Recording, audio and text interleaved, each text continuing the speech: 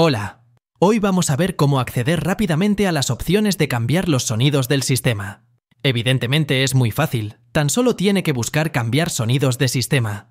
Pero si accedes muchas veces a cambiar sonidos del sistema, te recomiendo que crees un acceso directo. Muy fácil también. Clic derecho de ratón donde quieras el acceso directo, señalas nuevo y clic izquierdo en acceso directo. Pegas esta ruta desde la descripción de este mismo video. Luego aceptas todo y listo. Con doble clic accederás directamente al lugar donde podrás cambiar los sonidos de tu PC con Windows 11. También vale para Windows 10. Un saludo y buena suerte.